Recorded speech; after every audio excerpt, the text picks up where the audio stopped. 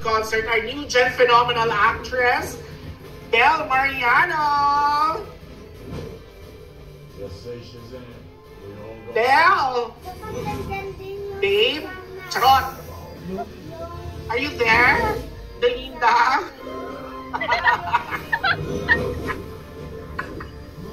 my gosh, para akong tita dito na nagpi-figure out paano pumasok ng kumo. Sa tagal mo hindi nagtungo, Belinda? Hi everyone! How are you? I missed you all. It's so good to be back here on Kumu. Grabe. Parang uh, Ako, first day ko. nag-surprise announcement kagabi, ang daming napadownload ulit ng Kumu dahil sa'yo. You know, kasi Kumu talaga is such a great platform to connect with them, di ba? Oo. Ang saya mag-Kumu. I miss those days na parang everyday pa talaga ako nagkukumu. Guys, magla-live na talaga ako ulit. Yeah, Magla-live na daw. Magla-live na daw ulit si Belle. Pero, babe, asan ka ba ngayon, babe? Asan ka ngayon? Ba't napaka-fresh mo sa maulang panahon na to? Asan ka? Okay, actually, kanina galing akong shoot. Kakauwi ko lang. Oh. Ang ganda-ganda. Sana lahat na nasa bahay ganyan kaganda. Oo. Paano yan? Alam mo, lighting mo- lang yan. Oy, hindi yan lighting. Lighting Nakikita yan. kita lagi. Talagang blooming si Belle. Pa-bloom ng pa-bloom. Parang hindi ka naka-lipstick ngayon, Mama Dar. Hindi ako sanay. Ah, dadagdagan ko nga, sabi ko nga, sabi ko na papansinin mo eh. Kasi hindi pa ako nakakabili nung sinabi mong red. Eto na. Yeah. Ah, dadagdagan, pink ko, sabi ko na, hindi bagay sa akin yung medyo pink eh. Bagay. Ay. Hindi ko. Na. Ah, ayan. Lipstick tuloy tayo dahil kay Belinda. Pero kamusta ba, Belinda? One week to go! I know. Oh my gosh. Are you excited? I want to ask them. Are you guys excited? Tignan Oh, natin yung sinatanong kayo ni Belle. Excited ba daw kayo para sa Beloved? Kit ata yung comment ko. Long time no kuwi. O ulit yung... Alam mo, ngayon lang ulit Yes. yung Belle. Ngayon lang ulit yung comments na makikita mo yung mga pinakabago ay kailangan mong ipindutin pa para makita sa dami. Pero super excited daw sila. so excited. Sana all makapunta. Ay, Ah, meron pa bang tickets, Belle? By this time? pa orchestra tickets. O, meron pa daw. Pero wala tong ano, no? Wala tong online component. Wala siyang digital component na yung mga nasa malayo ay pwede makanood. Ayoko mo na. Hindi natin alam ha, pero syempre, thank you naman sa ano, ang bilis na sold out nito, lalo na yung mga VIP. Sabi, manonood ka ba? Sa- Sabi ko nga magkausap na kami ng ASAP kasi di ba live yung ASAP kinabukasan. Sabi ko, merese. Manood tayo. Kahit live kinabukasan, manood tayo ng Bell. Syempre manonood. Pero, ba't may mga nagko-comments? Belinda lang ka pa din. Sabi na, Belinda lang ka pa din. Lang pa rin ba ako? Hindi naman sa akin. Talaga ba? Hindi na ha. Oh, hindi na daw. Baka kayo yung Yan, it's the weather. Oh, ayan oh, ang dami nagko-comment dahil sa'yo napadownload ang kuko. Alam nyo, huwag nyo nang burahin yung app kasi sabi ni Belle, pag nagka-time siya, magla-live na siya ulit. Oo. Pero Belle, kasi lately, di ba, parang na- naka-high, naka, naka-spotlight sa'yo ngayon yung music. Yung music ngayon, yung music ni Belle Mariano. Na, parang for now, nakafocus ka pa doon bago pa dumagsa ulit yung mga kangaragan nyo sa buhay, sa ibang work. Anong feeling ngayon na ito yun, music mo na yun yung highlight mo ngayon sa career mo?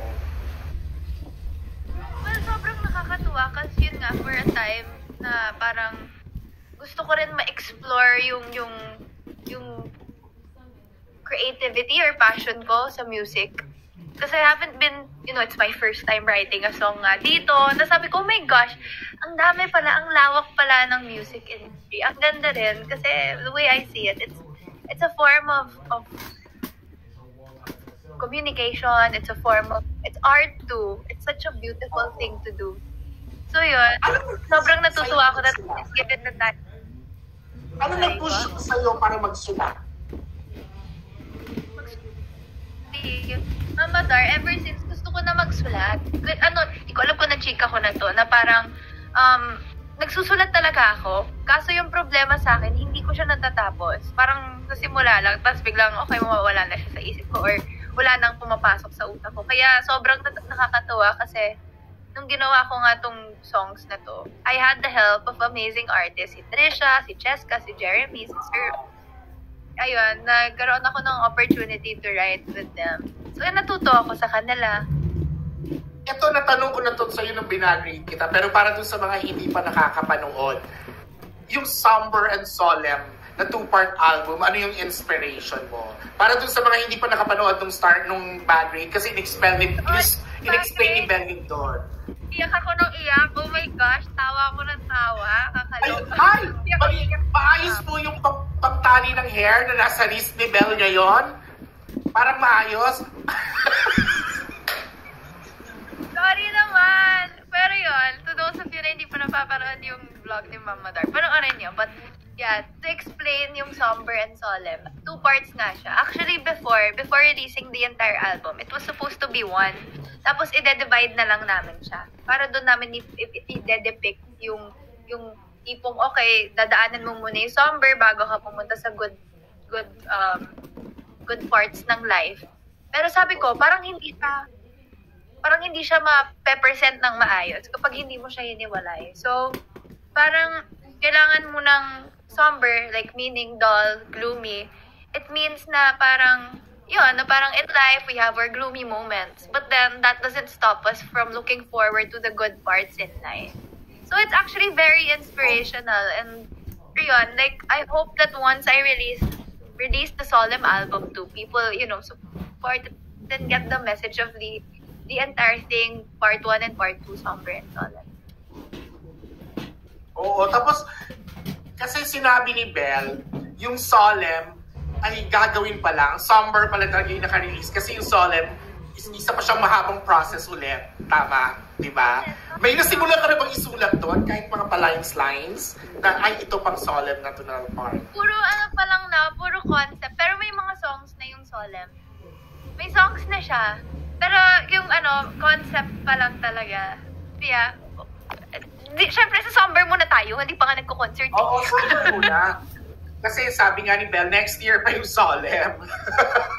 Pero, Belinda, kasi, di ba, pag pinasok mo na yung songwriting, parang sa mga tulad yung artist ngayon, na masyadong, ano, masyadong um, collaborative at saka hands-on sa music ninyo.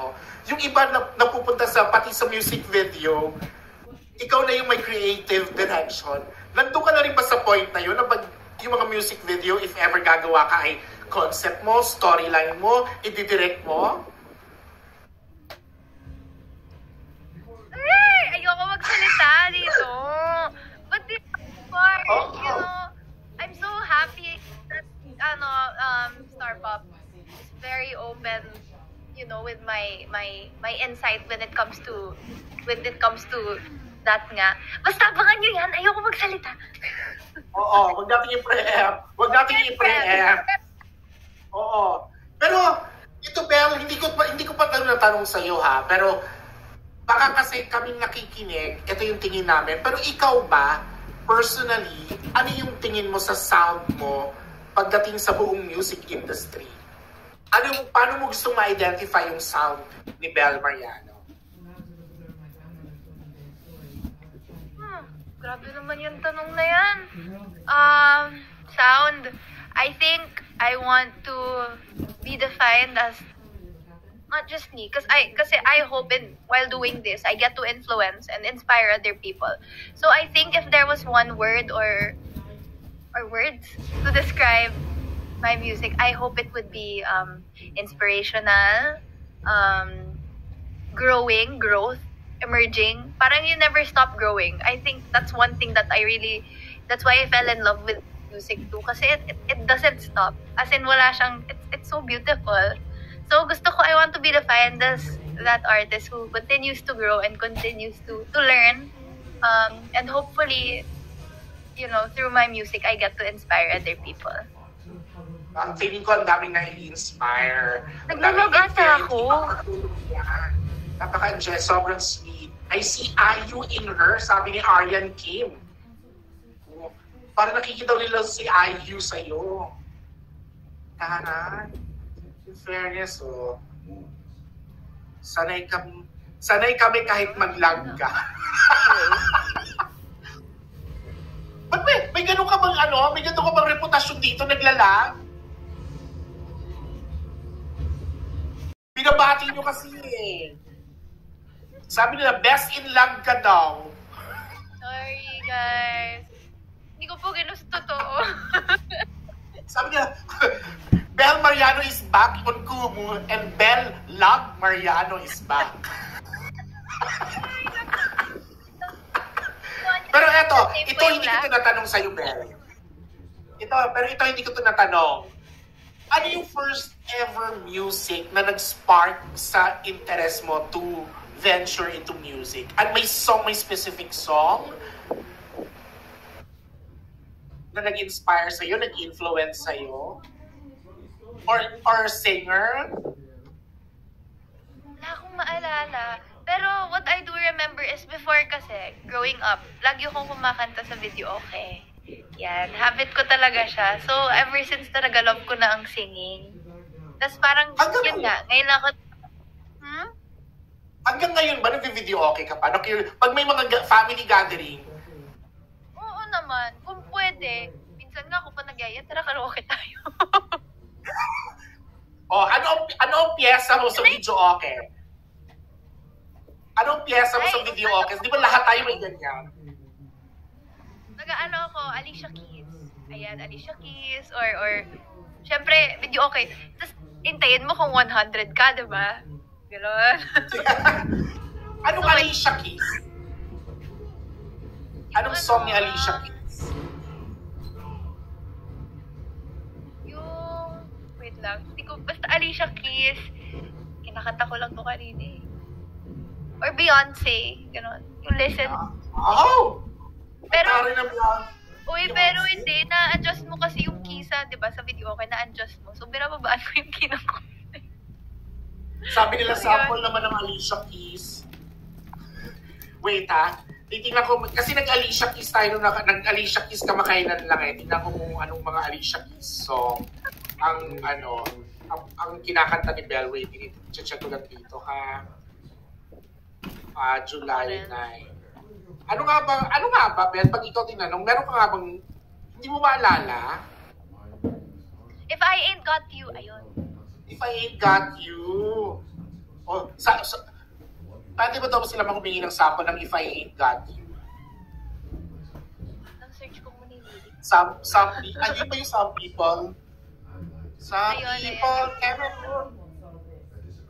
Some people be... okay, Oh. try ko. Sige. Oh, nice. Sample lang naman. Grabe, okay. Sige. Ang tagal ko hindi kumanta sa Kumu. Okay. Okay. Some people... Bakit? Want it all, but I don't want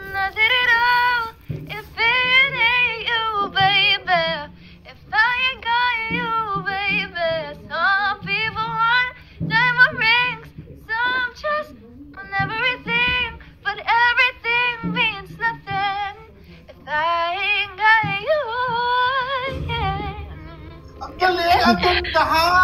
Ganyan pala yung mga, pag hindi ka pa nakakanta ng original, mga ganyang, ganyang type of songs. Ang carry mo. Ano pa, Ali, maliban kay Alicia Keys, nag-aalanis ka rin ba? Oo, um, Magko-concert pa naman ng Chang Alanis natin. ay, oo, oh my gosh. Wait lang. Search ako ng lyrics kasi yun, Hand in my pocket. Your house.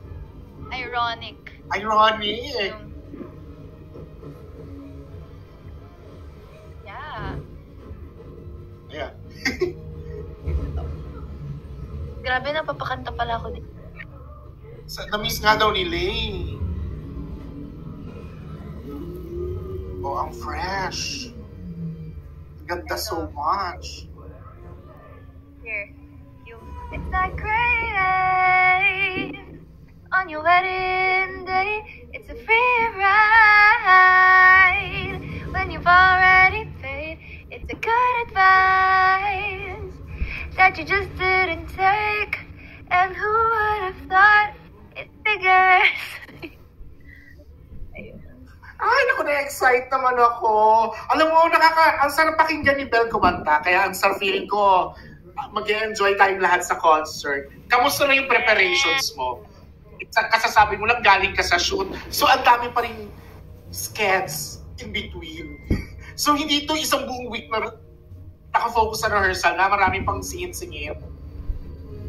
Yeah. Actually, um, yesterday I did something for the concert. Pero, hintayin niyan sa concert niyan. Maano. Pero, um, I think, yeah, starting tomorrow and the next, syempre, one week na lang. Talagang all out ako sa rehearsals. Doon, as in dance. Rehear... Hmm? Ayun, basta. dance rehearsals. Oh my gosh. ano yung, ano yung Nadulas barko? Ano yung barkong ano? Parang may nakita. Ikaw ba, pa- familiar ka pa dun sa mga gifts na bumabagsak? Yung halo-halo, alam pa natin yan. Pero may barkong malaki kanina. Ano yun? Ayan, o ano yan? Ship. May ship na. Yeah. Opo. Galing! May ship. Ano kaya yung ship? Ayan o, ang cute. Pero, pero ba, bago madulas si Belle sa mga gaga, mga pasabog niya sa concert, eto Belle, pagandaan mo, huwag kang madudulas. Pero ano ba yung mga pwedeng i-expect ng bubblies, ng lahat ng manonood ng Beloved sa Saturday? Yung mga pwede mo lang sabihin. Malalim. Oh my God. um, well, of course, I have ang daming pasabog niyan. Um, yun nga, I, I said this before na it won't just madaming makaka-relate. As in, it's gonna be um, storytelling. It won't just be you guys listening to the music. It will also be very visual at the same time. I will take you through the journey of entering somber and solemn. Yan lang. Oh. Yeah. Ayun na, ayun na. Yung masyadong detalyado, wag na natin masyadong alamin kasi para sabay-sabay sabay-sabay tayo ma-surprise sa Saturday. Pero ngayong papalapit na, may pressure ka na feel Bell. Kasi parang ito yung first na talagang major na malaking concert mo eh. May pressure ba? may takot, syempre. Like, parang, of, like, syempre, meron din akong expectations sa sarili ko and, like, first concert ko nga na physical. Sabi ko, yung dati nga online lang ngayon. Kabado-kabado na ako. What more if, ano, what more if physical. Pero syempre, at the same time, I'm so excited. Oh my gosh. Seeing all of you guys here, doon sa, sa, sa New Frontier, parang, my gosh, what more can I ask for? It's gonna be, it's, it's gonna be an exciting, at the same time, super nerve-wracking day for me. Pero, ah, sa album, tapos, yun nga, basta madaming pasabog. Gusto kong, I want to take you guys sa, sa journey yun. Ito ba yung ano, since the pandemic, ito ba yung biggest gathering mo with all the bubblies sa lahat kasama lahat na nagmamahal sa iyo? Na in person? Ito ba yung Yes. biggest ever?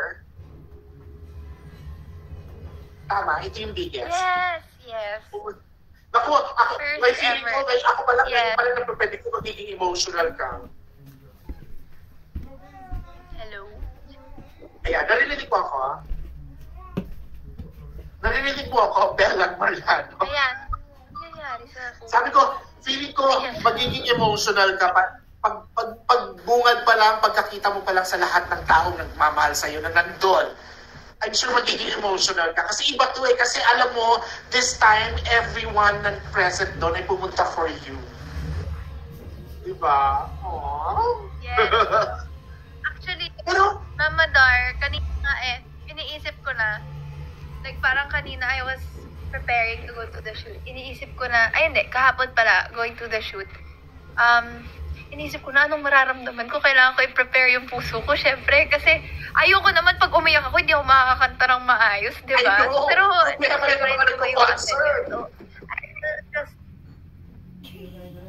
yun nga eh. Kinakabahan ako doon. Sabi ko, baka pangunahan ako ng emosyon ko. Pero, e-enjoyin ko lang talaga yan. I will do, like, my best sa day na yun. Pero at least, be confident naman na lahat ng nandun ay magpupunta para mag-enjoy with you, to celebrate you and your music. Di ba? Pero itong concert na to, Bel, kanino nang galing yung idea na let's do this beloved concert? Yung title na Beloved, na Madar, Oh, and the, the, the, the concept mismo ng concert. Wow! Bundle may official! Yamashita yan, di ba? Yamashita ba yun? Yes! Uy, alam mo pa yun!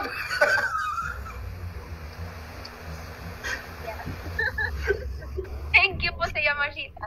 Pero yeah, going back, um, Beloved Concert, actually, nung una, believe yung iniisip naming name. Pero sabi ko, parang, yeah, believe.